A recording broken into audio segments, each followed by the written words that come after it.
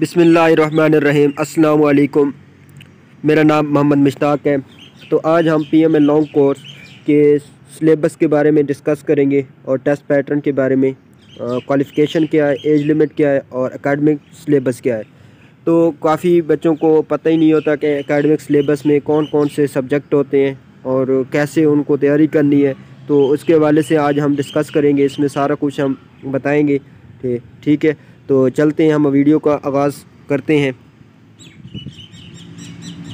आ, सबसे पहले तो P M L long course की जो है ना सीट्स वो अनाउंस हो चुकी हैं ठीक है? इन 25 मार्च से इनकी रजिस्ट्रेशन स्टार्ट हो जाएगी।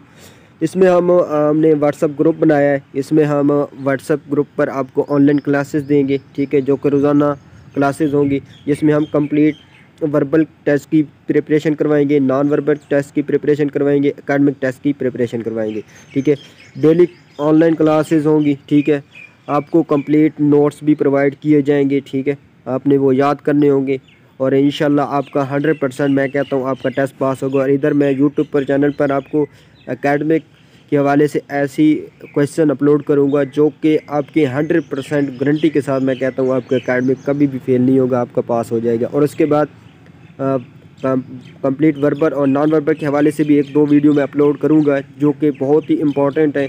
वो आप लोगों ने लाजमी देखनी होगी, जो कि आपकी टेस्ट में कामयाबी के लिए बहुत ज़्यादा फ़ायदा मंद होंगी। ठीक है? तो हमारे व्हाट्सएप पर आप कांटेक्ट कर सकते हैं। नीचे मैं ग्रुप का लिंक भी डिस्क्रिप्शन में दे दूँगा तो उसमें आप जाकर ज्वाइन कर सकते हैं व्हाट्सएप ग्रुप को। तो चलते हैं हम नेक्स्ट प्रोसीजर की तरफ़। पी एम लॉन्ग कोर्स जो है, ये आ, साल में दो बार आता है ठीक है? आ, और ये आ, सिर्फ़ इसमें बॉयज़ गर्ल्स तो इसमें बॉयज़ अप्लाई कर सकते हैं लेकिन गर्ल्स अप्लाई नहीं कर सकती ठीक है? इसमें सिर्फ़ वो बॉयज़ ही अप्लाई कर सकती हैं जो कि सेकंड लेफ्टिनेंट की पोस्ट है ठीक है? P M A long course की। अभी जो कोर्स आया ये एक सौ चौवन है, इससे पहले एक सौ तिरपन था, ठीक है? ये साल में दो बार आता है, अक्टूबर और नवंबर में आता है, मार्च और अप्रैल में आता है। अभी मार्च है तो मार्च में आ गई हैं सीट्स ठीक है? तो 25 मार्च से इन इसकी रजिस्ट्रेशन स्टार्ट हो जाएगी और आपकी क्वालिफ़िकेशन है ना, वो इंटर होनी चाहिए, ठीक है? और इंटर आपकी कौन कौन सी? आपकी एफ़ हो सकती है एफएससी वाले भी अप्लाई कर सकते हैं एफए वाले भी कर सकते हैं ICS वाले भी कर सकते हैं। ठीक है? और एफ़ ए वाले भी अप्लाई कर सकते हैं। ठीक है? तो इसमें आपके जो है ना 55 परसेंट आपके मार्क्स होने लाजमी हैं। अगर आपने फ़र्स्ट ईयर के पेपर दिए हुए हैं तो उसमें आपके 60 परसेंट मार्क्स होने चाहिए और कॉलेज की तरफ़ से आपने होप सर्टिफिकेट ले लेना है। ठीक है? अगर आपने अभी मतलब आपने पेपर देने हैं मतलब सेकंड ईयर के और रिज़ल्ट अब भी अभी तो सेकंड ईयर के मेरे हिसाब से पेपर शुरू होने हैं तो आप मेरे हिसाब से आप अप्लाई भी नहीं कर सकते, ठीक है? तो आपने पेपर भी अभी नहीं दिए। अगर आपके फिर भी ये कि अप्लाई करना चाहते हैं तो आपका होप कॉलेज की तरफ़ से होप सर्टिफिकेट ले लेना है, ठीक है? और सिक्सटी परसेंट आपके फ़र्स्ट ईयर में होने चाहिए, ठीक है? तो चलते हैं नेक्स्ट क्वालिफ़िकेशन और एज लिमिट के बारे में। क्वालिफ़िकेशन तो मैं आप लोगों को पीछे बता चुका हूँ इसमें आपकी इंटरमीडिएट होनी चाहिए ट्वेल्व ईयर आपकी होनी चाहिए। उसके बाद आपकी एज जो है वो सेवनटीन से ट्वेंटी ट्वेंटी टू ईयर होनी चाहिए। तो इसमें यह है कि अगर उसमें वो ना आपको वेबसाइट पर जब क्राइटेरिया आएगा तो उसमें वो तीन मंथ की आपको रिलेक्शन देती है। चाहे आपकी तीन मंथ कम है या तीन मंथ ज़्यादा है। तो अब अगर आपकी एज है सोलह साल, ठीक है, अब भी आपकी एज है सोलह साल और नाइन मंथ अभी आपकी एज बन रही है। तो उसमें हम तीन मंथ ऐड करें। तो हमारे पास अप्रैल के बाद मई और जून। जून तक आपकी जो है ना एज होनी चाहिए मतलब आपकी सतारह साल बननी चाहिए। अगर आपकी सोलह साल आठ मंथ है तो फिर भी आप अप्लाई नहीं कर सकते, ठीक है? आठ मंथ है तो। उसके बाद अगर आपकी एज है बाईस साल, अब, अभी बाईस साल है, बन रही है अप्रैल तक और इसके बाद ये है कि अप्रैल, मई और जून। जून तक आपकी एज जो है ना वो बाईस साल, तीन मंथ बननी चाहिए, ठीक है? तीन मंथ ऐड करनी है। अगर आपकी बाईस साल, एक मंथ है इसमें तो फिर आप अप्लाई नहीं कर सकते, ठीक है? इसमें आपको कोई राहत नहीं दी जाएगी, ठीक है? उसके बाद आ जाता है आपका हाइट आ जाती है। तो हाइट आपकी पाँच फुट चार इंच होनी चाहिए, पाँच फुट फोर इंच और एक जो सेंटीमीटर में बनती है एक सौ बासठ शरीय पाँच सेंटीमीटर बनती है। अगर आपकी एक सौ बासठ सेंटीमीटर भी है ना तो आपको रिजेक्ट कर दिया जाएगा, ठीक है? इसमें कोई आपको रायत नहीं दी जाती, ठीक है? हाइट में आपको बिल्कुल रिलेक्शन नहीं दी जाती। आपकी एक सौ बासठ शरीय पाँच सेंटीमीटर होना लाजमी है हाइट, ठीक है? तो नेक्स्ट चलते हैं हम सिलेबस की तरफ़, टेस्ट पैटर्न की तरफ़। इसमें हमारे पास जो टेस्ट आ जाता है कौन कौन से टेस्ट होते हैं तो वही हम देख लेते हैं। पहले फ़र्स्ट ऑफ़ ऑल आपका वर्बल इंटेलिजेंस टेस्ट होता है, जो कि eighty four M C Qs होते हैं और इसके लिए तीस मिनट होते हैं, ठीक है? और ये फिफ्टी परसेंट आपके वाला पास होता है, ठीक है? अगर आप बिल फार, आप इसमें ना फेल हो जाते हैं वर्बल इंटेलिजेंस में तो फिर भी आप फेल नहीं होंगे। आपका जो है ना नॉन वर्बल का ना पोर्शन खुल जाएगा। ठीक है। फिर नॉन वर्बल के चौंसठ एम सी क्यूज़ होते हैं एट सिक्सटी फोर तो तीस मिनट होती हैं, ठीक है। तो ये दोनों में आपके फिफ्टी परसेंट मार्क्स होने चाहिए। ये टोटल एम सी क्यूज़ बनते हैं एक सौ अड़तालीस, ठीक है। इसका हाफ़ होता है सेवेंटी फोर बनेगा, ठीक है। तो सेवेंटी फोर मार्क्स आपके होने चाहिए, ठीक है। सेवेंटी फोर परसेंट ठीक है। तो सेवेंटी फोर परसेंट आपके मार्क्स बनेंगे तो तब भी आप सेवेंटी फोर मतलब एम सी क्यूज़ आपके ठीक होनी चाहिए, दोनों में से, ठीक है? अगर आपका वर्बल इंटेलिजेंस फेल हो जाता है, फिर भी आप फेल नहीं होगे, आपका नॉन वर्बल जो है ना पोर्शन वो खुल जाएगा, ठीक है? वो ओपन हो जाएगा, ठीक है? फिर उसके बाद जब आपका ये पास होता है तो आपको कॉन्ग्रेचुलेशन नहीं आता, आपको डायरेक्ट अकेडमिक का एक पोर्शन आ जाएगा, ठीक है? उसमें अकेडमिक लिखा होगा, इस पर क्लिक करेंगे तो आपके पास पचास एम आएँगे, ठीक है? पहले एक एक करके एम आता है, ठीक है? पचास एम होंगे तीस मिनट होंगे। ठीक है, इसमें कौन कौन से सिलेबस होते हैं? तो ये भी मैं आगे आपको बताता हूँ कि कौन कौन से सिलेबस होते हैं।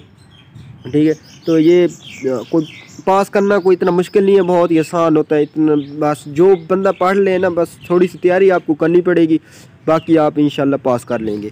तो चलते हैं नेक्स्ट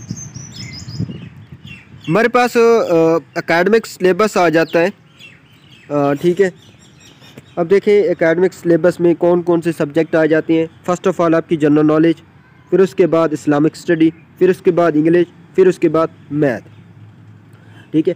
मैथ भी होती है, थोड़े बहुत क्वेश्चन है ट्वेंटी फाइव आपके एम सी क्यूज़ होते हैं, वो जनरल नॉलेज के. फिफ्टीन आप होते हैं इस्लामिक स्टडी के. इंग्लिश के होते हैं पाँच और पाँच मैथ के कर लें.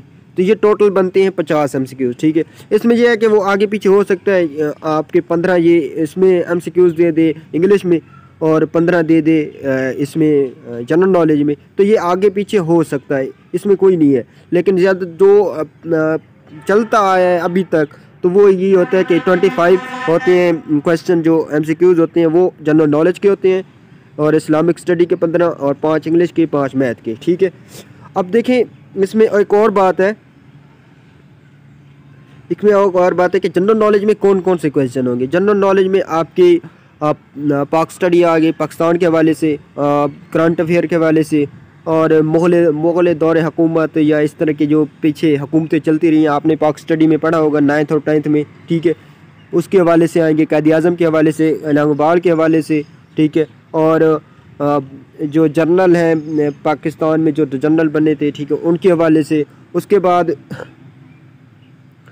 उसके बाद आपका ये, इसमें, इसके हवाले से आ गया, क्या नाम कहते हैं जो मार्शल लगे थे, ठीक है, पाकिस्तान में किस किस ने मार्शल लगाया था, ठीक है तो जंग, जंगों के बारे में आ सकती हैं वर्ल्ड वर्ल्ड नॉलेज आ सकता है आपके पास। तो इस्लामिक स्टडी में हजूर वसल्लम के बारे में सहाबा कराम के बारे में, ठीक है?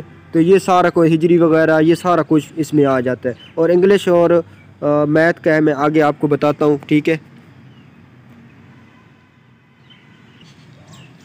इंग्लिश में आपके जो कौन कौन सी चीज़ें आपने प्रिपेयर करनी अच्छे से, ठीक है?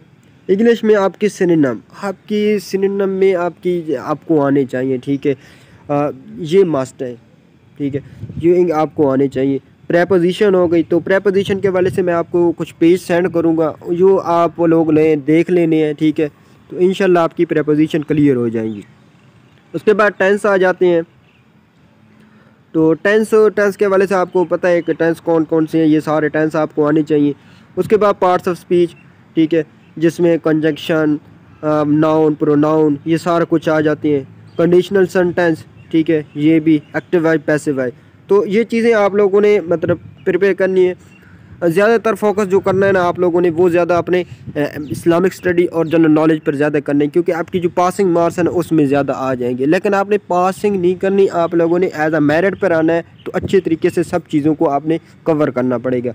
इन हम आपको क्लासेस वगैरह में सारा कुछ करवाएँगे। इन आपका हंड्रेड मैं कहता हूँ आपका टेस्ट पास होगा। मैं आपको इधर यूट्यूब चैनल पर ऐसे क्वेश्चन दूँगा, जो कि मैं हंड्रेड परसेंट गारंटी के साथ मैं कह रहा हूँ कि आपका टेस्ट एकेडमिक फेल नहीं होगा। और इन आपका जो है ना इंटेलिजेंस भी आपको इस तरह समझाऊँगा कि आपका इंटेलिजेंस भी कभी फेल नहीं होगा वर्बल और नॉन वर्बल तो चलते हैं नेक्स्ट मैथ सिलेबस पर।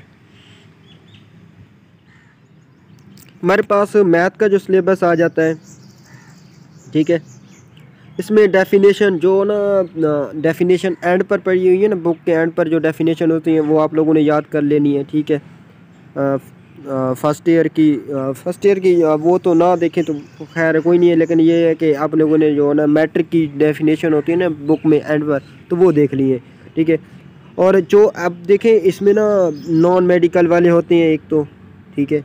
नॉन मेडिकल वाले, एक होते हैं मेडिकल स्टूडेंट ठीक है? जो ने एफ़ प्री मेडिकल के साथ की हुई है।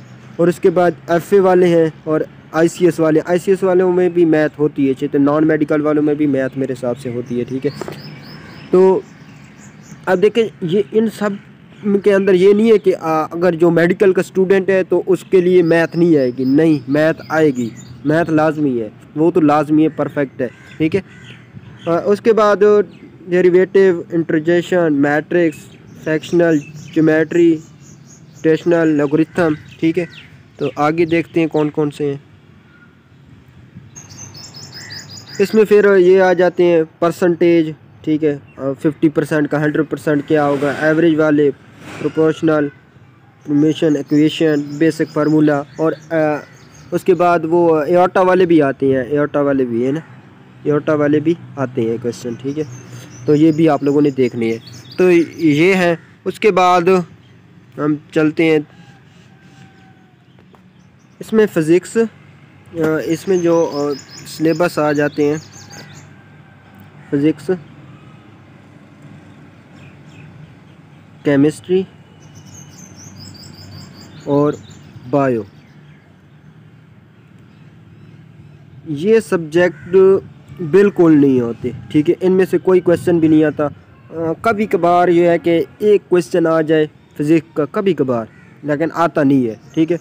तो ये आप लोगों ने लाजमी मतलब इसको बिल्कुल केमिस्ट्री फ़िज़िक्स और इसको बायो को बिल्कुल नहीं देखना, ठीक है? तो इन हम आप लोगों को 25 मार्च के बाद आपको क्लासेस स्टार्ट करवाएँगे और इधर आप लोगों को यूट्यूब चैनल पर भी आपको लेक्चर वगैरह मिलेंगे, ठीक है? अकेडमिक के हवाले से और वर्बल इंटेलिजेंस और नॉन वर्बल के हवाले से। तो अल्लाह हाफिज़।